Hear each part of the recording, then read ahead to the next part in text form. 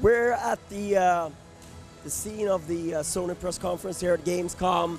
the music is uh, loud and obnoxious. Uh, I think that's one of the main complaints we had about the, the show, the, the awful music they had in between trailers. But other than that, a pretty strong showing here by Sony. Yeah, I mean, I'm, I'm, let's start with the last thing that, that really, really, really did surprise me was Michel Ancel uh, hitting the stage uh, with his own studio. So apparently he's not working for Ubisoft anymore. Uh, He's worked a year on this title in the dark. yeah, exactly. The title is called Wild. Uh, we don't really know a a whole lot about it, except that it's some sort of big uh, exploration game. He said uh, that the, scale of the game is something like Europe, actually, which is, I mean, this is massive and huge if it's true. And uh, we, we saw a lot of wolves, uh, we saw fighters, uh, we saw girls. Uh, but we didn't really we didn't really have no actual idea what the game is about but it looks stunningly beautiful and uh, Michel Ancel alone uh, should be a, a, a trademark for it becoming something really important something different. And I, I, think it, it reminded me of No Man's Sky in that sense that this is the kind of game that PlayStation 4 has that perhaps the competition doesn't have. This kind of little bit stranger game, that, but but it sort of appeals to us in some strange way. Even though we don't know what Wild is all about, what we're gonna do except for possessing animals and running around, we don't really know anything else. no no idea but uh, this is this is also good because it makes you curious and I'm pretty sure we'll be seeing something about it uh, in the next couple of days maybe even having an interview with Ancel if, if we are lucky enough uh, then we find out more Uh, there were so many games. We're gonna try to hit the major exclusive ones. Uh, Children of Tomorrow. Yeah, that was the first one. Uh, it had a, a really, really nice Russian kind of topic uh, with stomping music. Uh, again, no actual idea what's what's it all about. It looked a little like uh, a little like tower defense meet action meet shooter, uh, but it had a, a, really distinct art style and uh, a really kind of gloomy, gloomy, gritty way. Um, it, it did attract me a lot. Sort of had that mixture of some some materials looked really realistic, and then you had that sort of plastic mix as well. Very very strange, of course. Q Games known for the PixelJunk series, so something completely different from them. Not something we were expecting. So interesting to see that. And of course, I, I'm, I'm a sucker for the, the, the sort of Soviet theme thing. Yeah, going. yeah, yeah. Same here. Uh, it, it always works in a way. It, it makes you. It, it instantly makes you go, and uh, then you then you see the idea that there's a good game coming out of that. Another game that was announced that we got to see that's not exclusive, but it's coming first to PlayStation 4, the new Ninja Theory game, Hellblade. Uh, yeah, Tearaway. That's uh, that's actually uh, the, the the old Vita game. Uh, no, no, no. uh, Hellblade. I was talking Hellblade, Ninja Theory. okay. See, it's that we can't hear each other. Yeah, it's that loud. Yeah, Hellblade, uh, Ninja Theory, Enslaved. Uh, yet again, not many information. It's uh, th- th- they said we we get some really brutal ninja kind of gameplay mixed with uh, strong characters and uh, and a deep story. Uh, and again, uh, uh, a really distinct art style. Uh, it looks beautiful. Enslaved is still one of my sleeper hits from back in the days. Uh, I think 2008. So high hopes for that one. Uh, they, I think they didn't say it's a, a full exclusive, but it will. No, I think it will end up being a timed exclusive for some sort. Because the trailer highlighted that it's an independent, so it's not Sony published, but it's coming first to PlayStation 4. I think that's how they put it. Uh, what else did we have? Rime, of course, was shown a little bit more of Rime. Uh, that is an exclusive title, though, and it looks absolutely amazing. Yeah, beautiful. People instantly think it's Journey coming to hard, which is also coming to PS4, which we learned today. Journey is unfinished Sworn is, uh, and and I mean this this brings us to this whole uh, exclusive idea a little uh, be- because Sony. They also they had Dean Rocket Hall on stage saying that DayZ is coming to PlayStation 4 first, not exclusive, but if uh, Microsoft sticks to its policy, uh, a lot of these games uh, will stay exclusive on the PlayStation 4 because Microsoft wants these games first on Xbox or at least uh, at the same time, and this won't happen. So I'll be curious to see how that goes out. Same goes for Papers, Please, which is coming to PS4 as well first. You still haven't seen any of those first seven indie titles that were on E3 uh, a year, more than a year ago on PlayStation 4. None of them have been announced for Xbox One yet. Yeah. So obviously there's still some sort of some obstacles in place there still that'll mean that most of these titles will you'll only see on PlayStation 4. Uh, Paradox announced something called Hollowpoint by Ruffian Games, uh, the old uh, Crackdown 2 developers. Uh, what was that? Uh, Ruffian Games, uh, they, they did Crackdown 2, yeah. and now they're working with Paradox on Hollowpoint, the, the 2D, I don't know, sort of, sort of a 2D deathmatch kind of thing. Yeah, I mean, it, it, I didn't really. I didn't. So many games. Yeah, so many games. Yeah. I actually, I must have been typing some news when that was on. Uh, I saw, I saw RuneScape that they're doing something on that as well. Hollowpoint, I didn't actually pay a, a, whole lot of attention to. So. I mean, there, there was a lot of those that were they were just in quick, and then yeah. this is the game. Uh, yes, yes one, one really, since we uh, mixed that up, but one way important thing is actually Tearaway coming to PlayStation 4, being Media, Media Molecule working on that for the past couple of months, uh, trying to tweak the experience from PS Vita onto PS4. That never actually did work quite well, so they reinvented everything. At least that's what they said. And it looks beautiful. They, they, they have uh, this, whole paper touch uh, look uh, coming over to the PS4. They use the controller uh, and the backlight from the LED to light up the gaming world. Uh, there is a lot of interaction between the controller and what's happening on the screen. I think there's there's quite some potential uh, in that as well.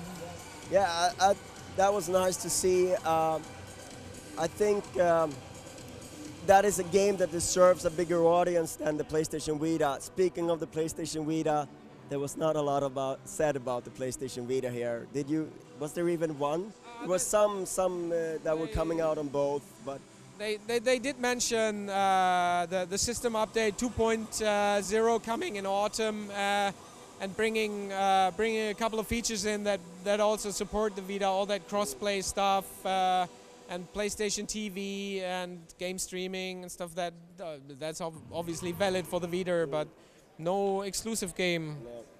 No. no. I think Volume is coming out on, on the Vita. That's that's uh, one thing. Uh, another game that we saw two years ago that's coming back, and now it's not PlayStation Move, it's not PlayStation 3, it's actually PlayStation 4, and it looks pretty decent until dawn. Until dawn, uh, horror game. Uh, I think uh, eight people uh, hanging hanging around together uh, in a house uh, in holiday. we, we know the cabin in the woods. Yeah, yeah. We, we, we know the topic. It's a it's an old horror topic, but uh, yet again, uh, it's it's it's a good thing uh, to have horror.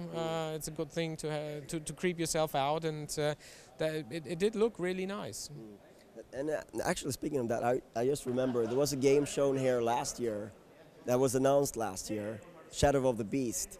That's doing the same thing as Until Dawn now because it's skipping over this one. Sony have a lot of games, and, and they really they showed a lot here, but there was still there's still stuff that we did not hear anything about, and a whole lot. Even I mean, the the whole press conference started with just showing trailers uh, and playing music, uh, showing gameplay from Bloodborne, which is a PS4 exclusive. Yeah. Uh, just en passant, so they, they didn't even really mention that uh, on on the press conference anymore. Uh, still important game, still great looking game, but th this illustrates how much stuff. Order 1886, same thing, looks amazing.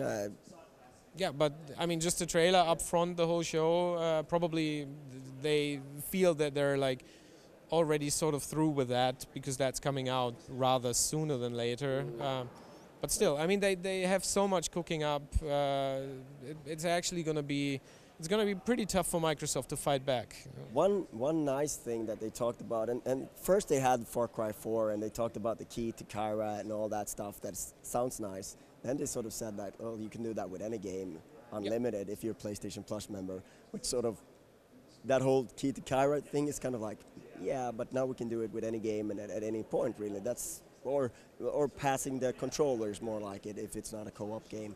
Really nice feature that you know I can see a lot of people using. Yeah, totally. I mean, it it, uh, it, it makes you save money in the end. If you have a, a good friend who has a lot of money and buys a lot of games, and, he, and he's willing to let you uh, in and share the experience, you don't really ha technically have to buy the game, as far as I understand it. And uh, the, the, the whole keys to Kyrat thing, PS4 exclusive stuff as well for Far Cry. I don't really understand how it's supposed to work, how long these keys are valid. Uh, two hours, I think. You get yeah. 10, 10 keys in two hours my main concern there is like how big a download is it to play two hours with a friend? Like, is it really worth it if it's like a? It must be a big download. Yeah, they really have to have the whole game there. So. Yeah, I mean, yeah, or at least one or two full co-op missions, and that's going to be uh, still going to be a big download. But but, it, but, it's like it's the, the whole open world that you can play in co-op, right? I think I think that's the case. Yeah, is it? Yeah, see, but, uh, 50 gigs or Again, something. yeah. yeah. Uh, and, and, that is, of course, something you have to think about with this, this sort of share play thing as well. How much do you have to download? Will it use some sort of streaming mechanics with the PlayStation Now? They, they announced next year for, for Europe with PlayStation Now. Uh, starting out in the UK, yeah. we'll see when it rolls out everywhere else. Uh, beta will be starting in UK yeah. first, and then they take it from there, I guess. I mean, it's, it's still a very interesting thing. Uh, uh, and, and, really interested to see how that pans out.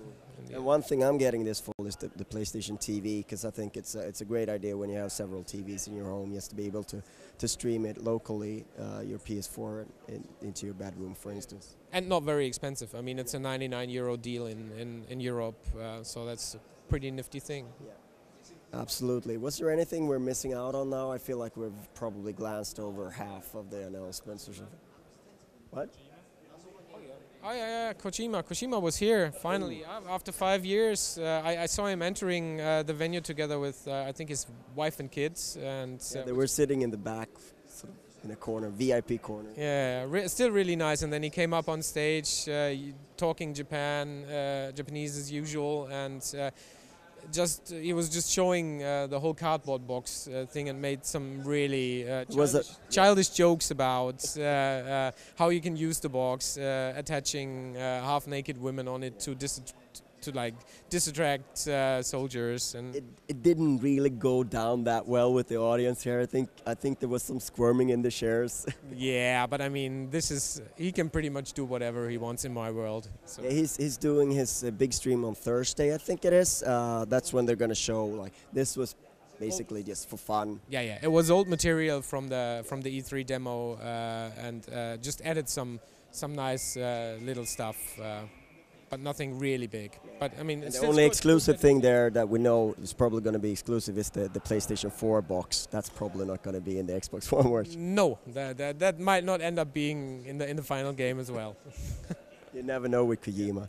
Uh, but yeah, uh, that is pretty much it. Uh, yeah, I mean, one thing I, I'd, I'd like to get an opinion on as, as closing down is uh, we had Microsoft before, and uh, that they did announce that uh, um, the, the, the, new Tomb Raider game uh, is coming exclusively to Xbox One, and uh, th there was some stir within the, the Sony fan community that they don't get the game that is actually a natively Sony game.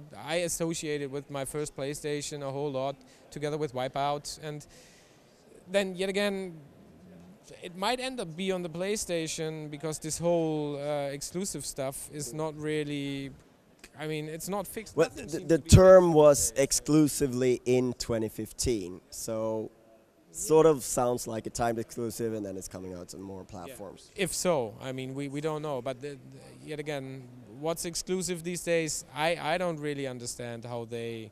I'm still shocked that Titanfall hasn't been announced for PlayStation 4. Yeah, true. So uh, I think that wraps it up. They're they're turning on the lights here, and I don't know if you could, were even able to adjust for that. But uh, Gamescom is kick, Gamescom is kicking off, and uh, we've had a great time here at Sony's.